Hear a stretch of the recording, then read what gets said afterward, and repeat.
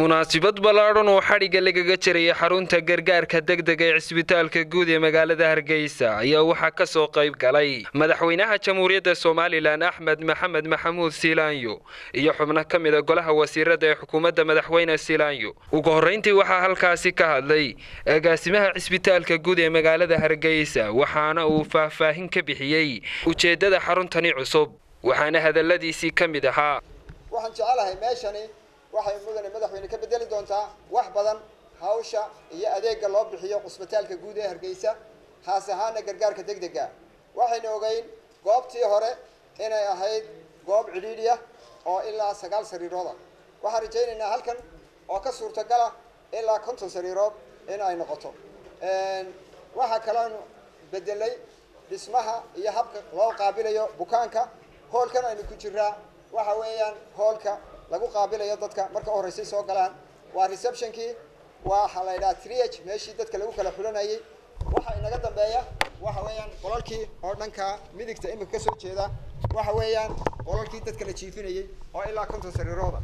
Dhinacan bidixda waxa iyagana ah layn kale oo ah xafiisyo iyo qolalkii minor theatre ama qaliinka lagu sameynaya xaaladda degdega ah. Waxaa jira iyadana layn dhexe oo iyadana qololah oo ah qolalkii loogu adeegaya dadka ee dadka shaqaalihii ay fadhiisanayeen iyo xafiisyadoodii iyo kaydkii. Waxaa ka dambeeya qolal dambe oo dumarka ah oo iyaguna ah laba qol oo waaweyn oo la dhigi doono dumarka xaaladda degdega. Aad iyo aad ayaan ugu faraxsanahay sidoo kale waxaa halkaasi ka hadlay injineer cali oo ka mid ah injineerka shirkadda albaraka construction company waxaana uu ka sheekeeyey dhismaha xaruntani iyo sida oo kale dhismayaasha ay ka wadaan dalka.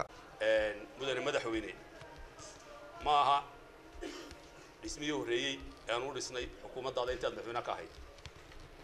Kow waxaa ka mid ah emergency-gan imaka aynu joogno aad maanta furayso oonu ugu talagalnay inuu qaado ilaa shan dabaq oo kale si mustaqbalka haddii dhulka xidhiir noqdo looga sii faa'idaysto waxaa kaloonu dhisaynaa imika dhammaaday sidaan farta kala baxnay.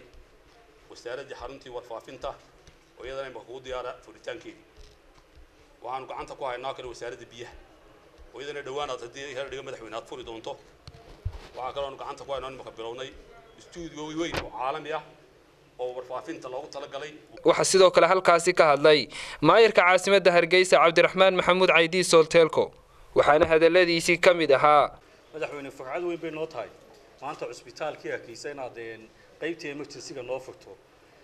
Shacbiga caasimaddana waxaan leeyahay cusbitaalkii hargeysa mar walba la odhan maayo madaxweyne intaa noo dhis madaxweyne intaa noo dhis waxaan leeyahay reer hargeysow dhankiina ayay ka dheeliyeysaaye. Dhaqaalaha lagu dhisayo cusbitaalka si cusbitaalkeenu u noqdo qof waliba uu u baahan yahay waxaa isna halkaasi ka hadlay salebaan ciise axmed xaglatos iyo wasiirka wasaaradda caafimaadka. Wasiirka wasaaradda caafimaadka waxaana uu faahfaahin ka bixiyey qaabka ay u shaqayn doonto xaruntani cusub iyo cidda ka taageertay dhismaha xaruntani. Ilaa iyo labadii kun iyo tobankii ood adigu madaxweynaha jamhuuriyadda somalilan noqotay wax isbedela ama wax waxqabada oo cusbitaallada laga qabtay may jirin.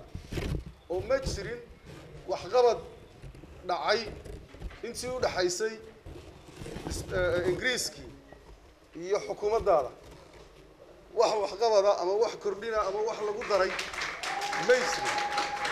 Waad garan kartaa waa muddo ilaa konton sano ah oo xukuumado kala gedisani soo mareen dalkan.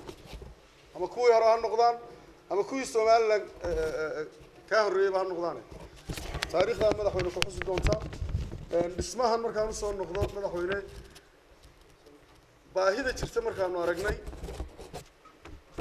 waxaanu go'aansanay inaanu dhisno. Intii aanan madaxweyne adiga ku imanin waxaanu qabanay xaflad fundraising ah ama aanu ku ururinayno lacag. Markii aanu lacagtaa helay ayaanu kuu nimid oo wixii dhinnaa aada noogu dartay. Gebagabadii waxaa munaasabadaasi soo gunaanaday madaxweynaha jamhuuriyadda somalilan axmed maxamed maxamuud siilaanyo waxaana uu u mahadnaqay cid kasta oo gacan ka geysatay xaruntani cusub. Waxaan aada iyo aada ugu mahadnaqayaa waadina u soo jeedinayaa wasaaradda iyo intii ka howlgashay ee ka qayb gashay hawshaa fulinteeda iyo iyo qabashadeeda iyo ficilkeedaba. Aad baan u soo jeedinaya.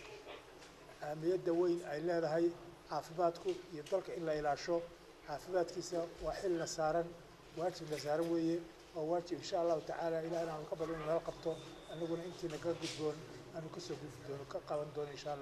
intaasi kadib waxaa madaxweynaha la guddoonsiiyey shahaado sharaf loogu talagalay waxqabadkii uu qabtay intii uu xilka hayay. Cabdiraxiin axmed mahdi telefishinka caalamiga kalson t v magaalada hargeysa